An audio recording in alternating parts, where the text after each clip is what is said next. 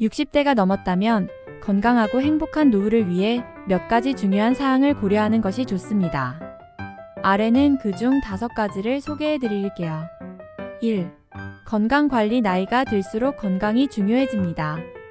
정기적인 건강검진을 받고 식습관을 조절하며 꾸준한 운동을 통해 체력을 유지하세요. 만약 기존에 가진 질병이 있다면 적절한 치료와 관리가 필요합니다. 2. 재정 계획 은퇴 후에 재정적 안정성을 위해 적절한 재정 계획을 세우는 것이 중요합니다. 연금, 저축, 투자 등 다양한 재정 수단을 활용하여 안정적인 생활을 유지할 수 있도록 계획하세요. 3. 사회적 관계 유지 사회적 관계를 유지하고 새로운 친구를 만드는 것은 정신적 건강에 큰 도움이 됩니다.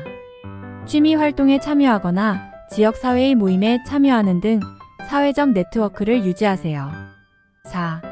주거 환경 점검집이 노후에 적합한지 점검하고 필요한 수정을 고려하세요.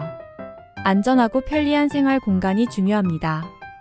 예를 들어 장애물 없는 공간과 안전한 욕실, 편리한 조명이 필요할 수 있습니다. 자아 실현 및 취미 새로운 취미를 갖거나 이전에 즐기던 활동을 계속하는 것이 좋습니다. 자기 개발, 여행, 독서 등 다양한 활동을 통해 삶의 질을 높이고 즐거운 시간을 보내세요. 이외에도 다양한 요소들이 있지만 이러한 기본적인 사항들을 고려하면 더 행복하고 건강한 노후를 준비할 수 있을 것입니다.